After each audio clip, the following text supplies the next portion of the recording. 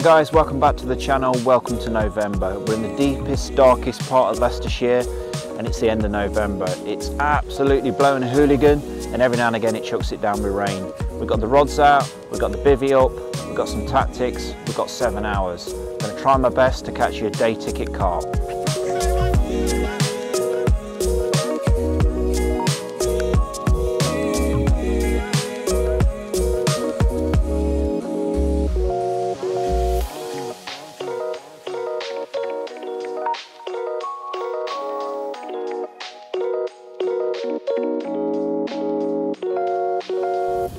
Okay guys, so tactics for today bait wise.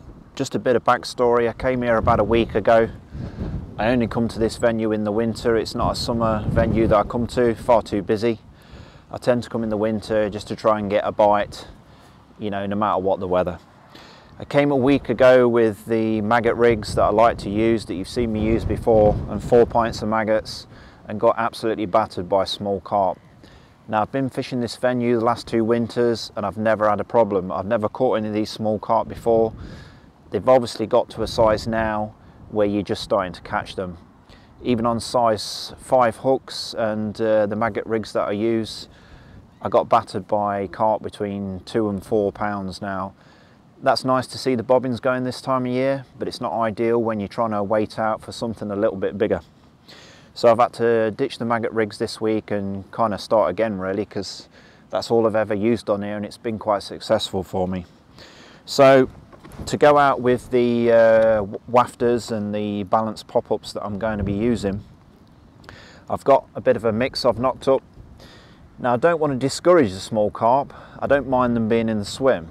What I don't want is two to four pound carp hurrying out the swim with a hook in the mouth and uh, dragging a lead, it's only going to spook anything else that's in the area.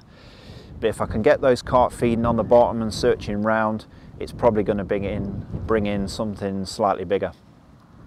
So the mix that I've knocked up to go out over the top in the spomb is um, a ground bait mix. So I've got a stick mix that I've put into the bucket. Uh, into that I've added a couple of handfuls of 4 mil pellets same flavour as the ground bait. And then on top of that, I've put in some spod syrup. Now once that's soaked in a little bit, I've added some lake water just to get a consistency like ground bait, like you would in, uh, like a matchman would use. And I've just let it soak in for half an hour just to absorb all the water. Now the consistency I'm looking for is where I can make it into balls, put it in the spomb but it'll break up quite easily when it gets on the bottom so it'll leave like a carpet going down. What I don't want to do is have it too dry, spomb it out and there's absolutely thousands of seagulls here. If it's dry on the top it's going to spread everywhere and they're just going to take the whole lot.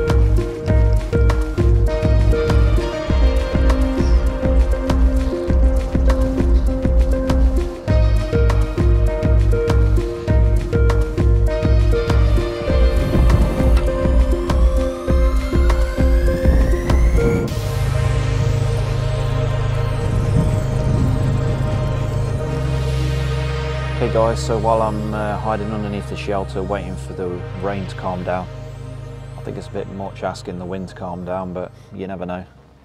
Just go through one of the rigs I'm about to put out. The reason I'm using this rig is I'm on a day ticket lake and I would imagine in the summer months it's seen a high volume of people coming through. Now, much the rigs in vogue at the minute are pop-up rigs and the Ronnie rig is no exception. I'd imagine these carp have seen plenty of pink, bright yellow, popped up Ronnies, one to two inch off the bottom. And they're probably getting a bit sick of them by now and must be wary of them. So I've tried to go in with a slightly different approach. I have got one rig out there at the minute. It's on a yellow wafter, quite a small one. see how we get on with those smaller carp. And the second rig I'm going to put out is a German rig. Now I've got 15 pound IQ2 on there, quite a stiff material, kicks away from the lead nicely, and a size 5 hook. Now, as I've mentioned before, once the hooks go in, I don't want them to come out. And even when I'm maggot fishing, I'll still use a reasonable size hook for what would be, in that instance, quite a small bait. On this one, I've got a 15 mil pop-up, but what I've done with it is I've weighted it down with a BB shot there.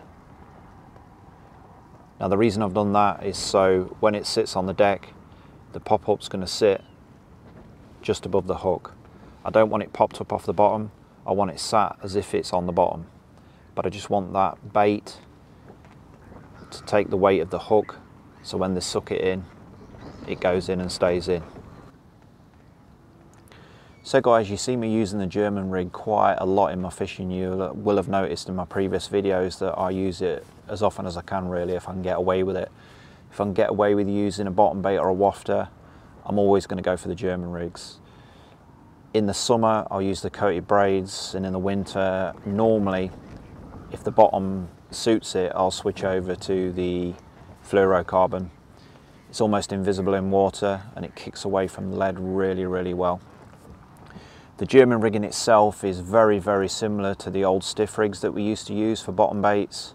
The only slight difference is the way the bait is mounted on the hook length. Obviously on the old stiff rigs, the hair would be part of the actual rig itself, it's just been an extension of the hook length. But on the German rig, you've got a ring swivel and tied onto that, you use dental floss. The beauty of the dental floss is if you've got decent size hooks like myself, size 5s I normally use, it's my go-to hook. You can cut off your bait and put a different one on. You tie your dental floss on, blob it down, you're way to go.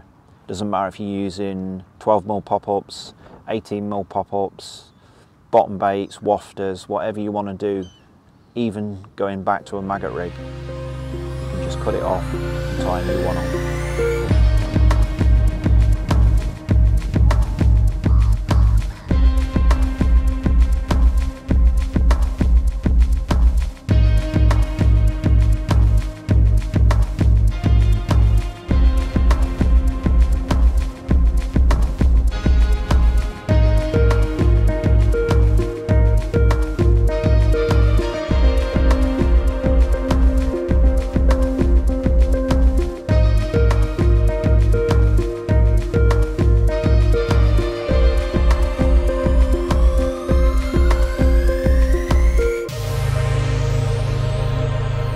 Guys, apologies uh, if it's windy, but I've managed to get outside the bivvy now. It's been chucking it down for about the last hour. Not ideal. Good fishing conditions. It's mild, can't complain. Three weeks into November, you know, it could be frosty, couldn't it? So let's face it. What I've got in front of me is the second of two islands on this lake. It is the smaller one, and there's a marginal shelf all the way around it. Now, I'm not going to be fishing on the marginal shelf because it's only three to four foot deep.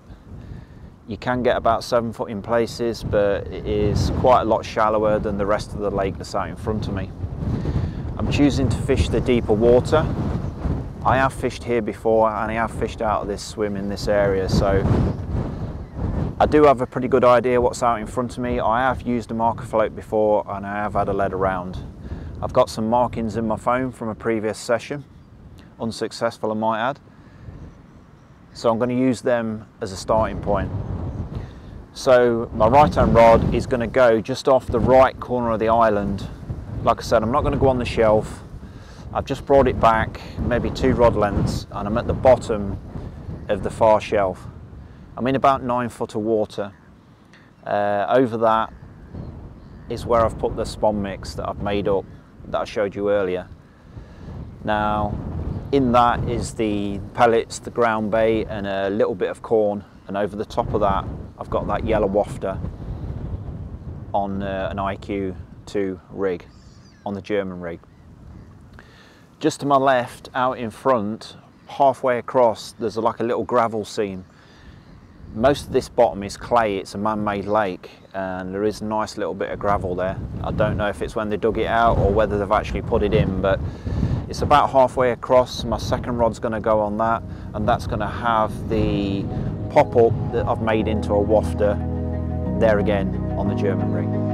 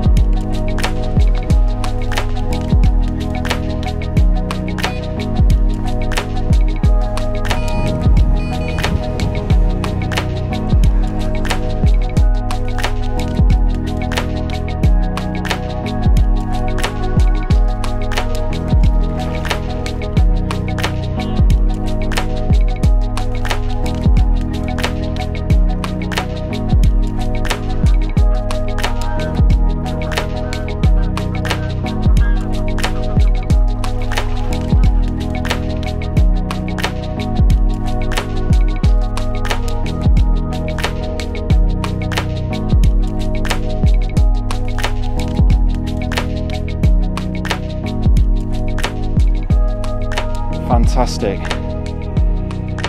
That's what we've been coming for, covered in leeches. I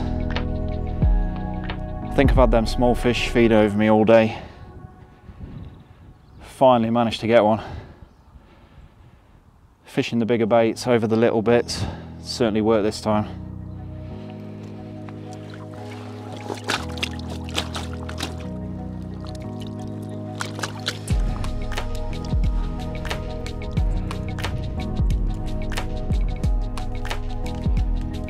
Wow. Makes it all worthwhile.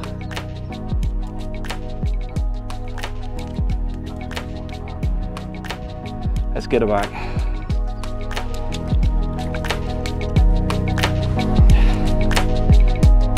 Thank you.